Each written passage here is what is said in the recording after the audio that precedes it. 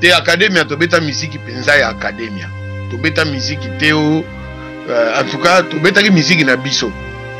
Mutu mutu abimisaki le meilleur de lui-même. Donc totyaki mpenza ke non euh,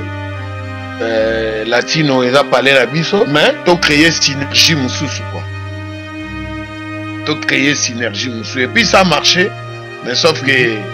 ekendaki mosika toyebi kaka place banoko bayali moto talinga azala pretre na ndenge na ye na bato balandaka biso ayebi biso ke yo nde danger yo nde yo nde yo nde ti bon esali ndenge esala mais c'était une très très belle aventure eh, ngai namona yango ngai namona yango na kondanaka bamasta parce que ngai naki de même avis na bato bato baproducteur mpo na compreki déjà je ya poto miziki ya kini toyebi ndenge esukaka ndenge ekendaka mhm. epuis biso oza groupe ndenge mpo ngai nayebisaki bana mai so toke kini motu na motu na kwene bakoyebisa ya danger mhm. tokokota o oh, acheke ah, yo bulaka tronga bit kasi mokili esama na bule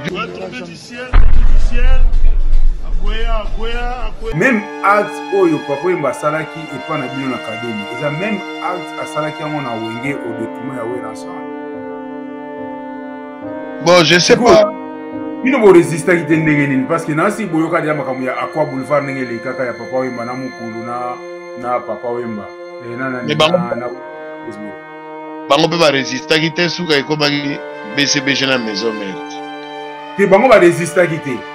mais bino bino boza deja na bulu wana boyebi deja ke no wenge oyo so ekabwana papa mbe azalaki a implike ndenge nini sikoyo bino bokutani nango bokoki komaîtrise yango bokomaîtrise yango ndeni bato ebele balaki wana bakili baesprit dimi ntango bayebisi ye aza danger epa monika a danger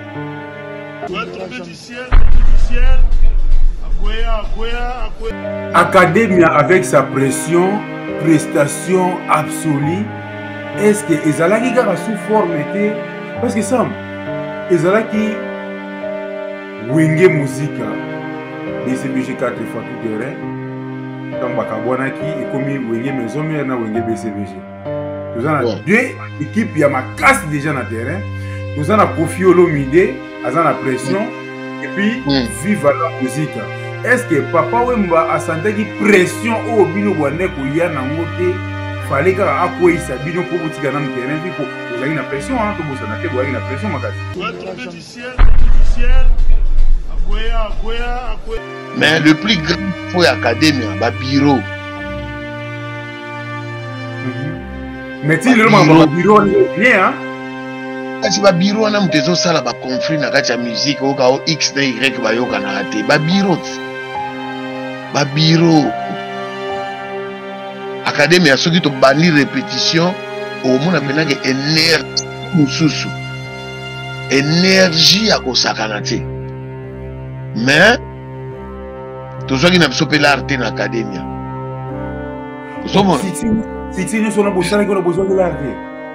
elar tozwa na academia toza mpe na lar ya production na maison de dis na édition mpenza oyebi baluelaka biso pale moko boye na mikili awa pale wana so touti tikaka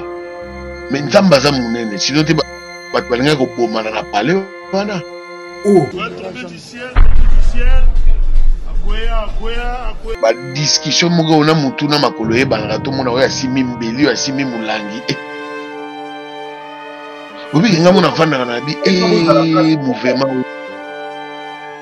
fale mpo bofanda na place non mais maison de disque te ngai nangi na palete lebu mpe ayaki na pale somono mpe ayaki na pale maison de disque ezwelaki biso pale mpo tozala esika moko tobose mpo na album mhm. mpo na album me nalobi na yo so otali mpena na pale wana alobi epale eh, eh, eh, moko mosusu moto aodaya viandulaka bien mais il faut il faut mieux vaut ozala yo moko bunda na ndenge no na ndenge ya groupe eya mpe mabe te mais faut bozala na manager epuis bino nyonso botala na direction moko so botali direction moko te alex eza mobulu biso oza otala na direction moko te biso nyonso na ebandeli ya isambla ondire boya direction moko me boya direction moko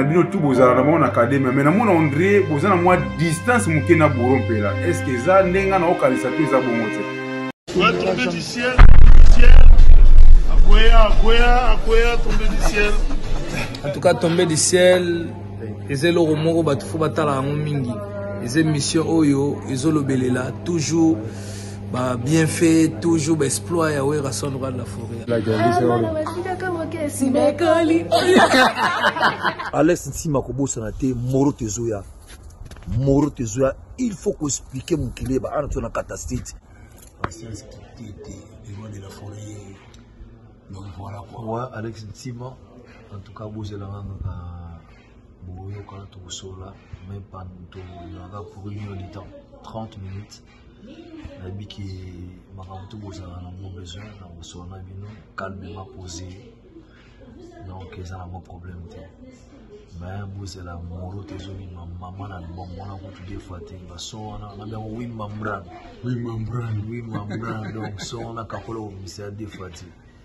voilà merci beaucoup ntima yaki bongo na residence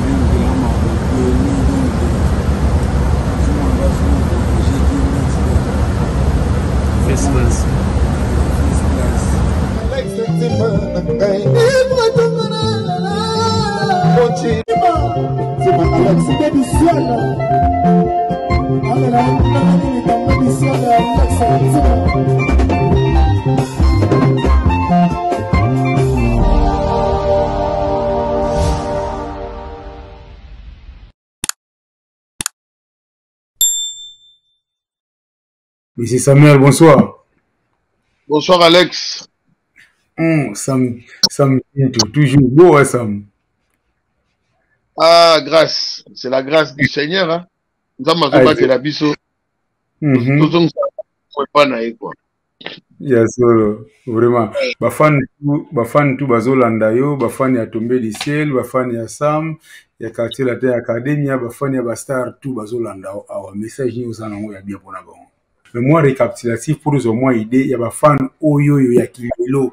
oyo nanu bayebi so monsieur samuel ndenge azalaki te malgré baomono na scène mais ah monsieur samuel bamoni ye principal mais bayoka yo nanu monsieur samuel toyoka yo bon ngai normalement euh, je suis un natif de kin mm. donc naza mwana soda koli na nakoli na na na, na kankokolo okay. nakoli na kankokolo na bachiki na ngai na bandal ba premier primaire maternelle mpe nasali kaka na kankokolo primaire na ngai nabandaki na bandal euh, bon gout ya musique nabandi yango vraiment euh, mwa bomwana mais première groupe na ngai mpenza nasimba micro mm -hmm. eza groupe na naza na misa na nga aza kuna na bino na États-Unis Didier Mpeti akoma pasteur wow ya Didier Mpeti akoma pasteur tobandi na bango na Iran ya muzika na 84 en même temps naza kobeta mpe na orchestre ya école na Athénée de la Victoire okay alors après ntango na longo Athénée de la Victoire na intégré ITC Ngaliema Institut technique du commerce de Ngaliema euh, kuna nde tokutani na bamista mosusu batekas ba patrick tumba ba jean jacques loabeya mm -hmm. atika biso atika biso kapus kapiamba atika biso mista moko tozani awa na paris rols mukanya patrick a na suède ba gg kalumbi baa na londres na baipo eh, en tout cas aventure mpena ya bien ya musique wana tobandi yango mpena nde na flash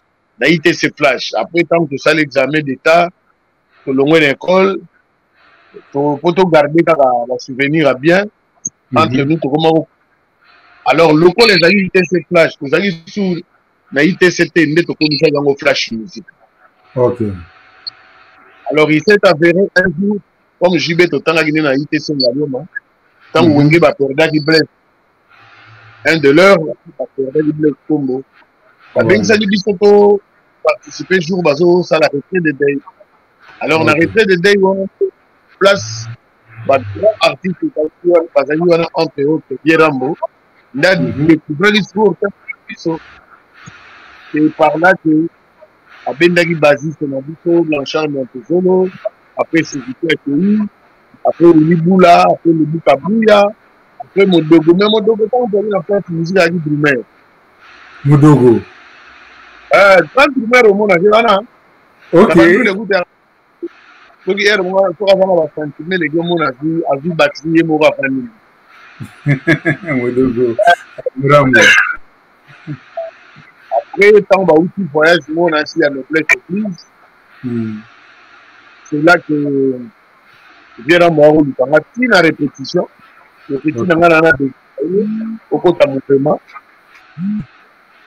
euh, naa na besoin na yo mpenza okota motema Donc mhm. c'est là que c'est parti. Vraiment. Donc euh, ntango ozalaki euh, ntango bozalaki na flash obetela bino miziki ezalaki nonga ya loisir ezalaki professionnel te alors ezali professionnel te nga kutu tito obeta wana nga mpena bule nanga ezalaki kaka fo mpena euh, bachiki mpena mpo nga alingaki chiki trop alingaki mpena mwa chiki ndenge bakongo balobaka mwa mbaksul ya langi mbaksul c'est-à-dire intelligence mwa ya moke ya danger te mais vraiment mwa mbakisule eyalaki en tout cas non ça c'est bien ah, mwa mbakisule ayaki un jour mpe comme je naa na bamiste ebele lelo na kati ya gouvernement wana même pas na gouvernement mais na kin ndenge batangaki ndenge totangaki bachike bamaste ebele baévolue na ba na baterrain na bango donc bulu na ngai alaki kaka chike donne journaliste hein. nakoma ata lokola bavie basunga nzinga vraiment toza na le professeur sam ngai nabengaki professeur parce que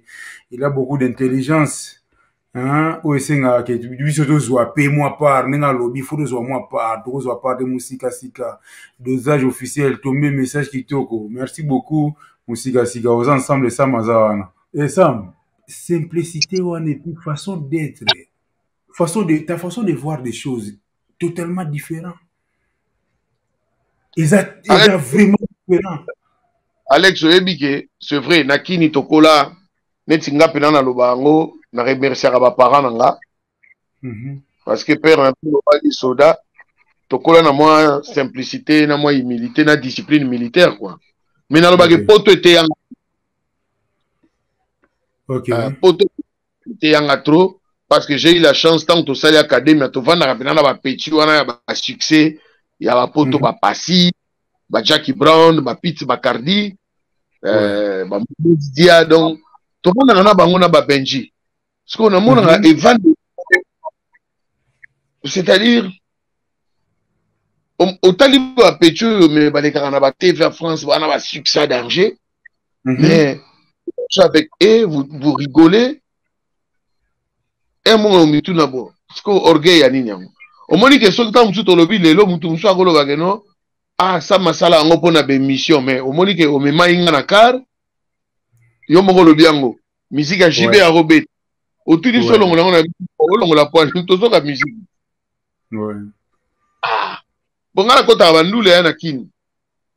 vraiment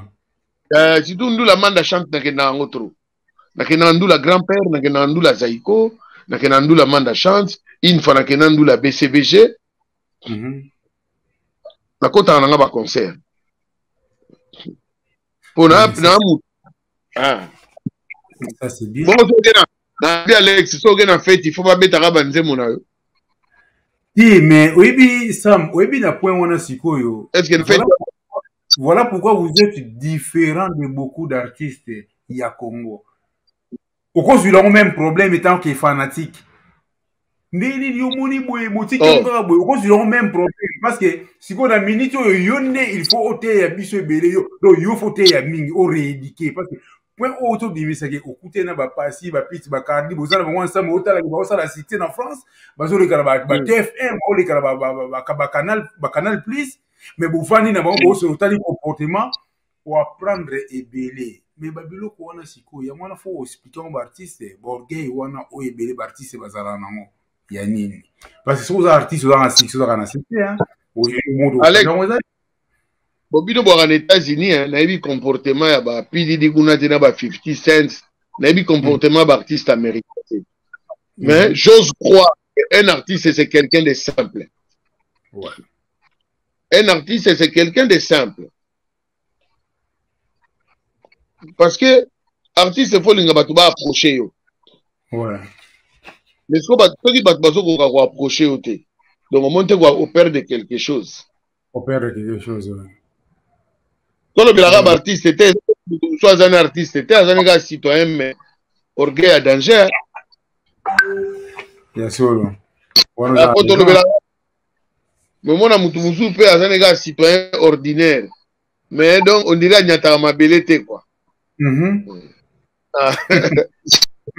ngai nabali omoni alex omoni vie rambo ouais. toka biso tovanda ne c'est quelqu'un de simple après ntango tolongwe nayebi te mais ndenge tovandaki ne un grand frère avec bapetit frère na ye simplicité okay. ya danger mm -hmm. vie beaucoup naza chance ya kozala na ye trop quelqu'un okay. de simple king kester emenea naza ovanda nde presque avenue moko okay. na neyi présence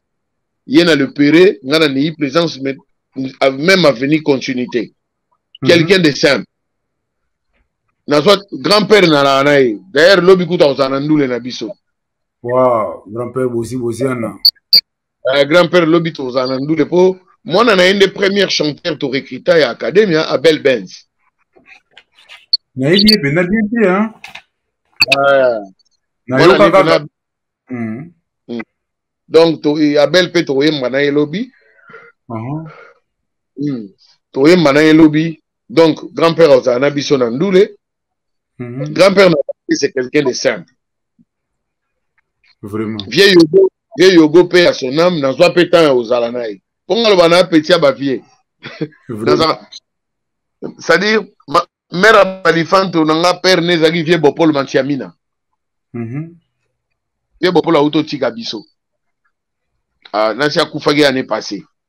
sikoyo na palais heure moko ovanda vie bopol baye na vie joski vie niboma euh, ouais. euh, vie sira mbenza donc c'est à dire navandi mpena na environnement ya bapomba ba mpena ya musique ya congo hmm.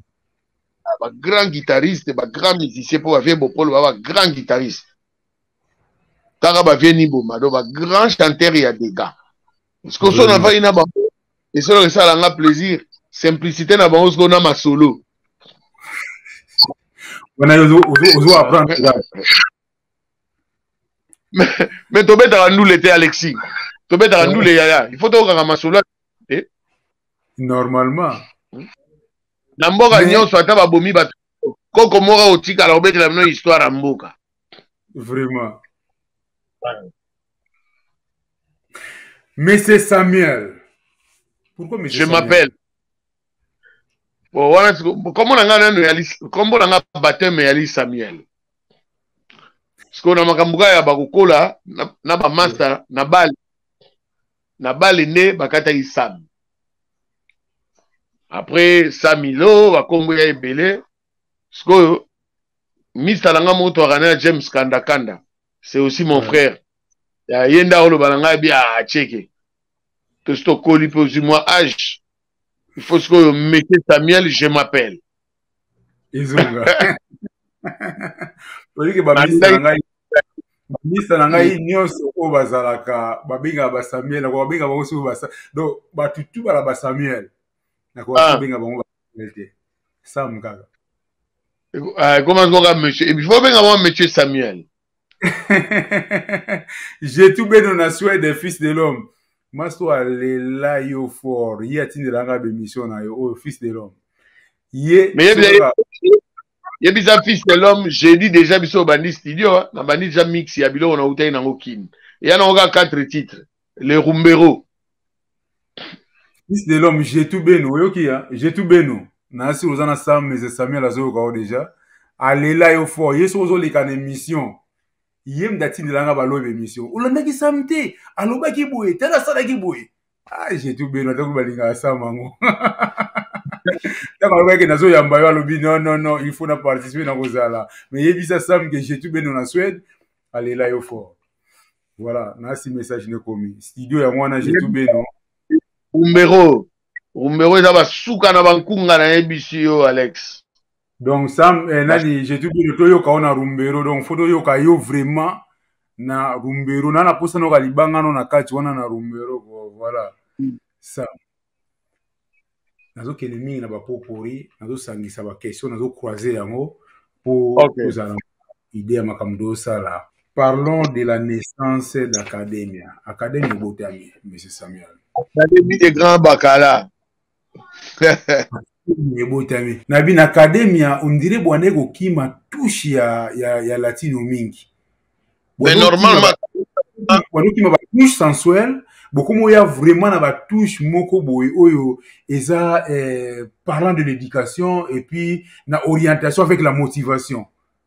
te academia tobeta miziki mpenza ya academia tobeta miziki te o uh, en tout cas tobetaki miziki na biso mm -hmm. mutu abimisaki le meilleur de lui-même donc totyaki mpenza ke non euh, euh, latino eza pale na biso mais tocreye synergie mosusu kua tocreye synergie mosusu epuis ça marché mais sauf ke mhm. ekendaki mosika toyebi kaka place banoko bayali motu to alingi azala pretre na ndenge na ye na bato balandaka biso bayebi biso ke yo nde danger yo nde yo nde yo nde ti bon esali ndenge esala mais c'était une très très belle aventure une belle aventure monsieur samuel euh, bodri makamizile alobi tuna monsieur samuel clip ya générique ya 4 coin kandala ezalaka na youtube te pourquoi serie wana youtube nana ebimi te serie wana youtube mpe nana ebimi te mais oyebi ke oyebi ke na koluka moto asalaka clip yango a bien sûr po clip yango ezalaka clip yango ezalaka te soki ezali fo otya yango parce eza ba œuvre de l'esprit eza ba œuvre na bino eza ba œuvre na biso ko soki soki bakotya mpo mosusu te okotya yango meme na kati ya chaîne na yo moko parce normalement normalement euh, babiloko ebele ya bino moko etanke baartiste tobanda korekope yango éparpille te so na naoyebi ke neti clip oyo uto tya we oyebi ke ezongisi nga na basouvenir ebele nga moko natala yango susu te c'est vrai hein? ah je te dis eza parmi ba meilleur clip tosala na academia tosala conception clip wana komone john Ah, oyebi kayebisa biso tokotourne na 10 heures tosala yango na épine sur scène mm -hmm. koma tokoma mpe ba 10 heures 10 heures 30 bon. ah, jour yango tosalaki deux clip ok abi te deuxième clip tosala yango vraiment ba 16 heures ntango moi ebandaka mpenza ko kodisparaître eh, balere wana nde mais résultat yaka magnifique hein? ça c'est eza ba clip oyo neti kilelo hein? ezalaki mama na ozomona te ke epere de qualité te parce que ngai ntango na travaille yango na confinement mwa moke mpo nazala na meme qualité te na produit na bino nayebi ke droit de teur ekolandela nga mai natie yango kaka mpasi nange na joi te pai natia yango tolakisa bato mosusu ndenge babiloko yango ezali parmi baclip oyo bosala ya danze clip oyoyo figurante wana na ayaka na ye figurante wana euh, bato ya secteur a moto bayaka na ye c'est une antillaise wow. ouais. ajouaki rôle moko vraiment très important ouais. c'est une antillaise non mais mais oyebi ke contrat wana moto epesa biso meme badoctoire ba, ba, na yango ya résidence vraiment et puis ah oui? c'était on balingaki bino makasi hein mais baki ba jeune neti biso toyaki na même état d'esprit mais sauf que biso to comprenaki te mpo na bango balingaki même balingaki même nationalité c'est ça le problème bango balingaki te tokende kine mpo na bango foko tovanda kaka na mikili tobosana kutu latino place towuti donc c'est-à-dire balingaki bamema biso na dire direction oyo ya bango balingaki mais biso tomonaka kin euh, fati bom kolingaka komimonisa ti nzoka place cope ebebaki yango wana mabeka yango wana faute na ah. biso te makila okobota nango moi je ne vous condamne pas nazoblame bino mpe te mais place tobotamaki kaka yango wana makila yango yango wana kaka te ngai namona yango ngai namona yango na kondanaka bamasta parce que ngai naki de même avis na bato baproducteur mpo na compreki déjà je ya poto miziki ya kini toyebi ndenge esukaka ndenge ekendaka mhm. epuis biso oza groupe ndenge mpo ngai nayebisaki bana mai so toke kini motu na motu na kwene baoyebisa ya danger mhm. tokota oh, acheke ah, yo bulaka tro ngai bit kasi mokili esama na bule yokanisi so bule soki bule eyaki te nde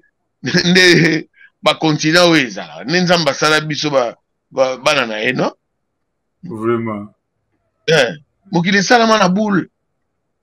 le fait que mokili esalama na bule fo kobulaka pi fo ozalaka na vance ya bule bien sûr kolusa likambo fo opesaka deja le pour et le contre nanu yo moko ah, ebeti poto bato bakoloba bo te mie mpo nasala yango te nasala na ngabo mhm. mais bapesanga raison après hein? bapesa yo raison après bozalaki na force moko boye estce boule wana ndenge tozonga na histoire obetaki ya papa wemba avant nakoma na histoire ya papa wemba tozonga na na histoire inspiration nini oyo bana ozala nango ya makasi kolobela ya king kester emene ya mingi inspiration nini mingi oyo ozwa epa king kester bo vieux kester amuta ba idéologie ya oyebi ke vieux kester ntango tosalaki academia lokale pembeni jour mosusu tokutani na bino nga mpo aza kobenga nga ah, petit na nga grand prêtre nayebi te vie nkombo wana eleki kilo tonabi petit oza prêtre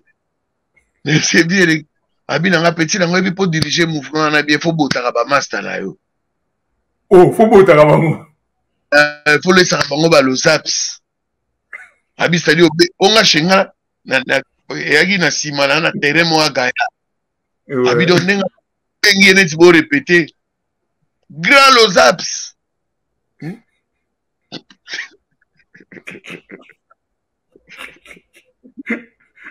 mais tellement bowutaki place moko mote oyoka yango ekosala ebanda kosala lokola neti abi na nga so ozobote bango abi soko bote suzuki akobombela oyebisa modogo soko bote eh. barambwa akopa koyebisa dolce soko bote dolce akopa koloba enta bango tu na rep soko ka moto amemi koloba soko otali eka na miso omona kitisi ei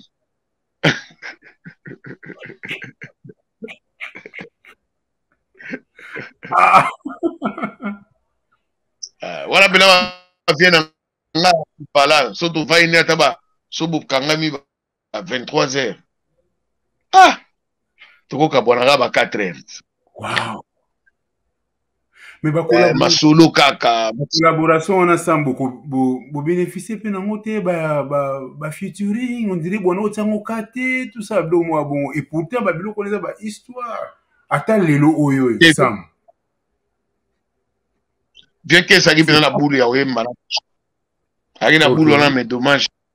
euh, akomaki mpenza na bulu wana ya bifa yemba na bapeti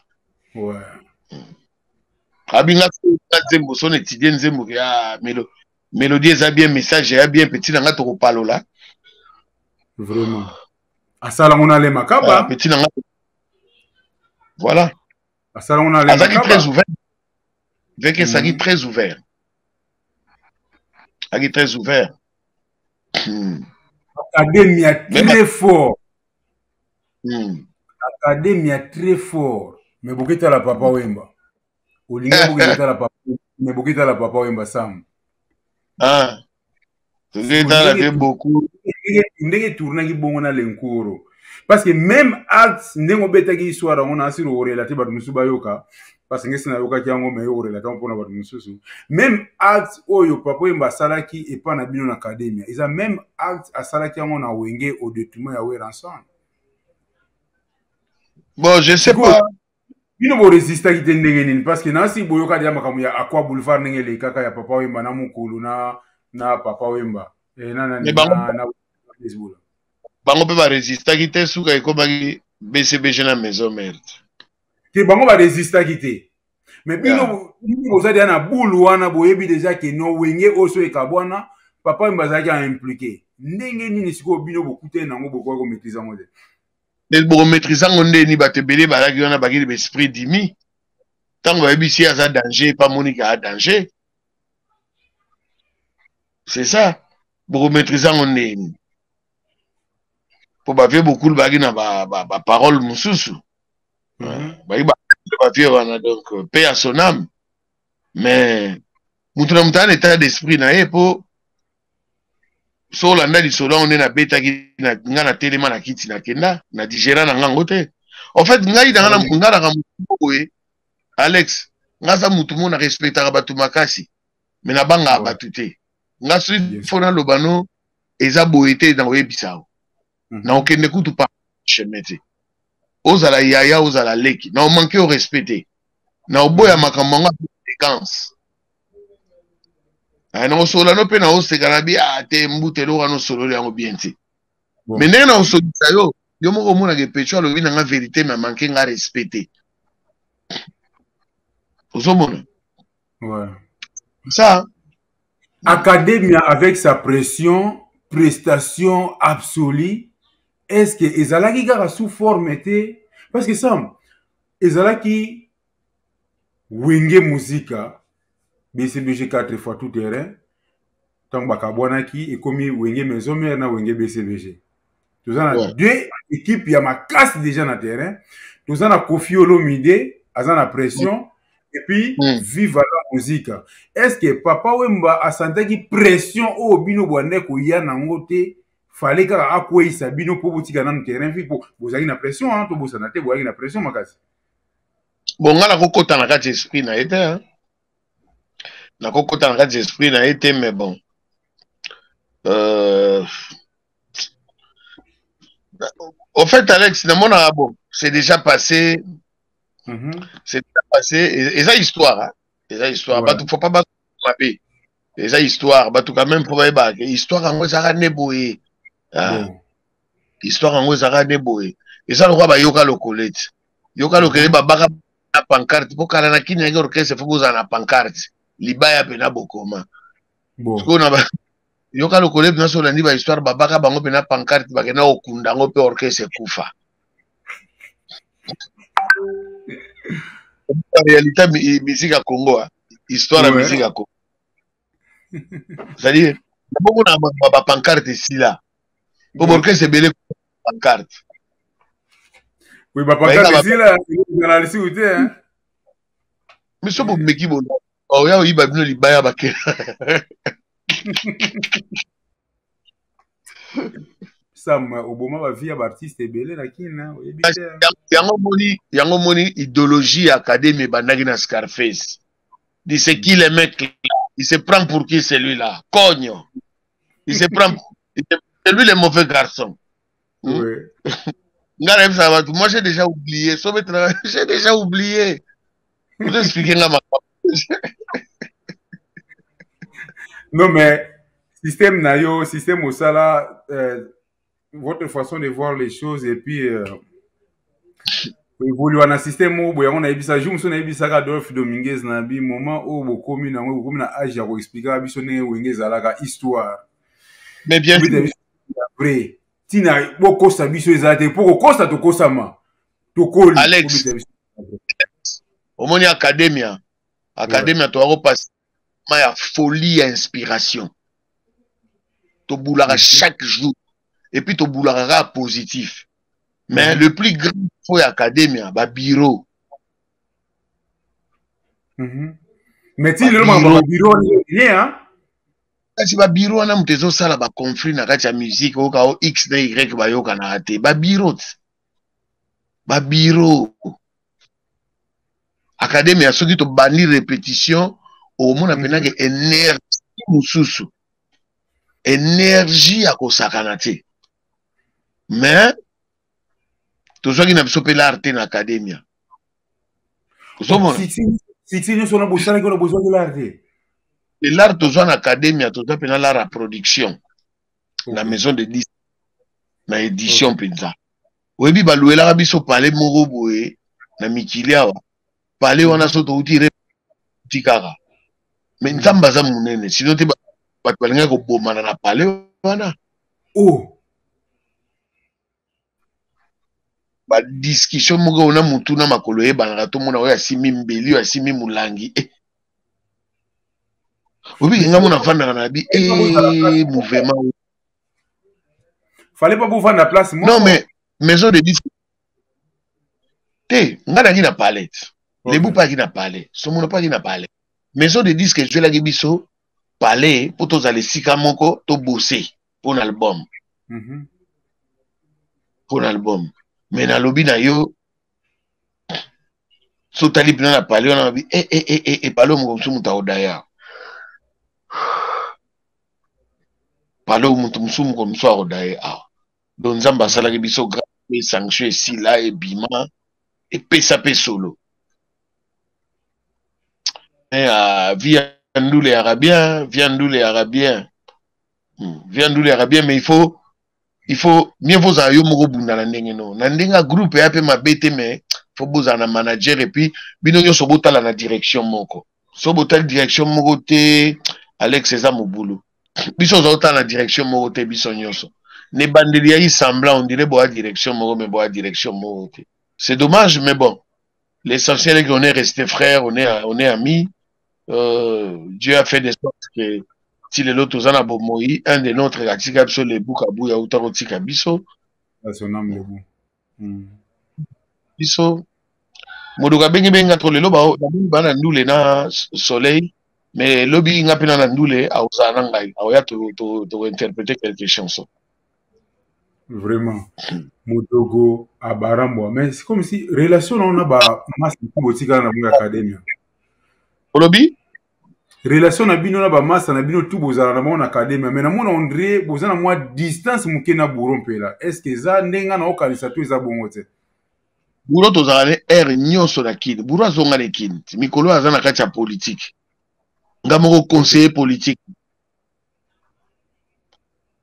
uh, jeko mikolo aza na na politique azobunda azalaki ati ndenge nga baimage ake ndenge na bikoro bayambaki ye vraiment il est il est aza mpenza dedans bouro se bouro ndenge nauti kini boye ezanga na bouro chaque fois so naa na ndule bouro azangaka te alekaka aye tokaboli bilengi tobeti tobeti ayembi asepeli apres akei tozalani tout le temps même tokendaki na afrique du sud na décembre euh, euh, décembre 2000, 2002. Ok. Non, décembre 2002 Ouais, décembre 2002. Ah, Bouro Mpela, Sam omeyi bamusicien na poto hmm. bosali sorti officiel ya viagra na mikili bozongi na bamusicien wana na kini ba musiciens wana na ba danseuses wana ba phrases wana oyo oh, tika na kin wana ba phrases correctes batikala na kini kaka boye bamisusu bazonga poto te batikalaka na kini bamene te bakembi na kini otikali bango tozongi kini kadi kadi akoti quartier latin mhm. mombili ko quartier latin lora eh, flore bebe flore akoti quartier latin okay. kadi ya cancel ataki ye bcbg na bcbg naki etikala na canada ti danseuse moko totikaki ye na poto donc na bango mhm. nyonso moko baza na ngola rifine ye kaka muda na ngola eh, na lora mpe azalaka na kini donc mama bango tu baevolue na bango non soki bazovolue bien mais eric mente eric mente akotaki bcbg oyo position eza bien te sur sa carrière musicale position eza bien te bon eric nayebi mpenza masolo na ye te parce que une fois nazalaki na chikapa bayebisi nga azali wana ke kolwezi akende kananga kananga kananga kolwezi mais sincèrement nayebi sous position na ye te mais tonton lai tozala ne na kin tonton lai tozali na kin mhm. euh, ki Pichu Concorde azalaka awa. Musicle kutu de tous les temps de tous les jours. Azolanda awa kutu ndenge aza wana. Euh, dans le village de Cotonou Benin. Mm. Mm. Donc, euh, en tout cas sam merci beaucoup nasi tokozwa yo lisusu à la prochaine nalingaki lelo to tosuka awa ah, mpo oza na fatigue ebele merci beaucoup alex na ntango opesi ngai merci na bato tu balandi biso euh, vraiment mingi ya kolobela te nde kaka tolobaki bolamu eleka mabe na ebele merci beaucoup merci, merci ale merci. ok merci beaucoup bonne soirée à vous à vous aussi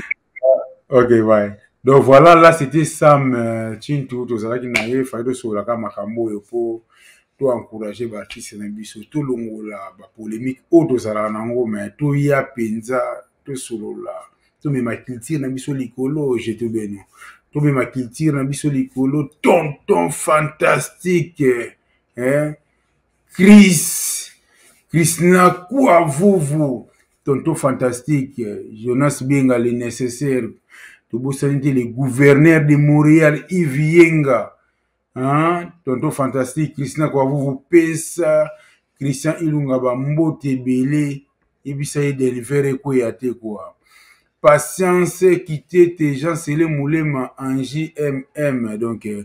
mulumba de montréal peralomi london ivienga jetubeno hein? christian ilunga de deliver christina kuavuvu tonton fantastique patricia edward statue de la liberté lili de new york lopinio sezabo bamotono yango na donancien oye na retard alex ntima tombe du ciel mental toujours très fort merci beaucoup donancien ah, don... na kati ya butiki boye boteka babiloko ya danze omoni mpena baberoti baweston bakupe ebele ya danze awa bomelanjaka forme nyonso to bozala na forme particulier oyo botekaka bon d'abord biso awa na tila boutique oyo ozomona eza boutique mais toza na usine ah, toza na usine oyo efabrikaka nyonso eza awa eh, ya biso moko usine donc euh, apart oyo tozoteka awa totinda mpe biloko na bapaye ebele